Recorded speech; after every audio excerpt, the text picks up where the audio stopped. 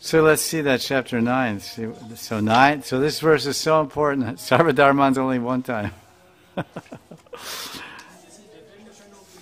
it's not opinion, this is Sri Bhagavan Uvacha. Your, your opinion, this is Praman.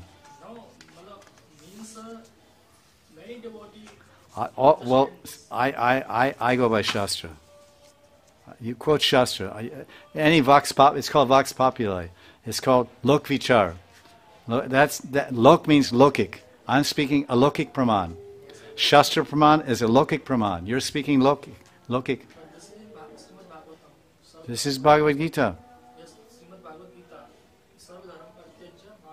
That's not the essence. I'm also speaking Srimad Bhagavad Gita, Manmanabha Bhakto. I think you should read the Gita a little more tightly, and you'll understand. So the ninth chapter, Rajavidya Rajaguhyam, ends with this verse, same verse, Manmanabha Bhaman Bhakto. And then that's ninth chapter, and then the 18th chapter repeats it again.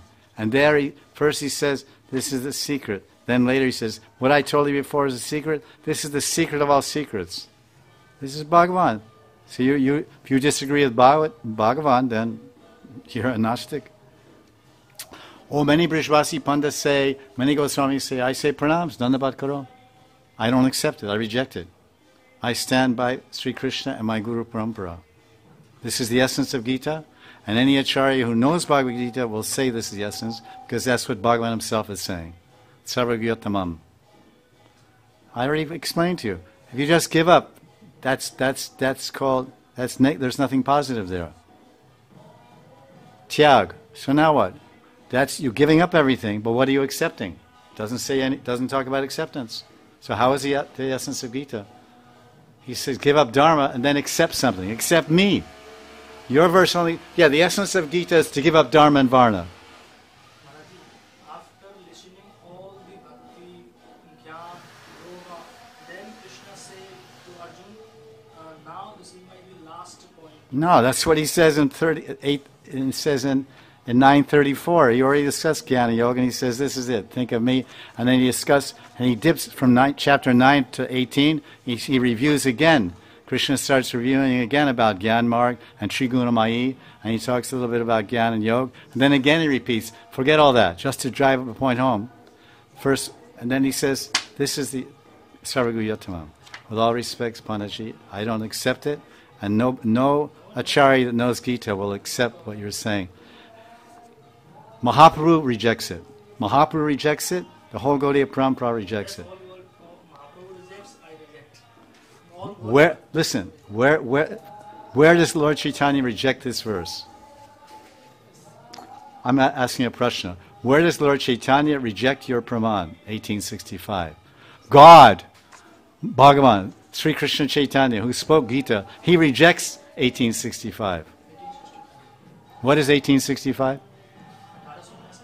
Sarvadharma Parityajya? No, that's 1866. 1866. So 1866, that's your Praman. Lord Chaitanya rejects it. So my question is, where, what, where is the Praman where he rejects that verse? Is my, you understand my prashna? Hindi baat You're saying all the Goswamis and Pandas saying Sarvadharman is the essence of Gita. Lord Chaitanya disagrees with you, disagrees with all the Pandits, and he's Bhagavan Sri Krishna. And I'm asking you, where does he do that? I'm not asking date, I'm asking Shastra.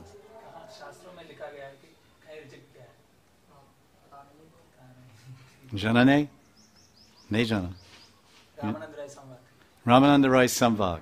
Chaitanya Charitamrita, Madhya Lila, Chapter 8.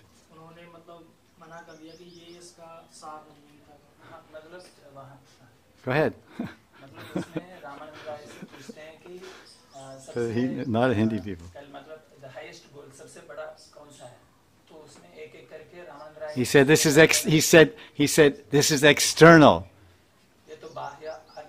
You say it's the essence of life and essence of bhakti.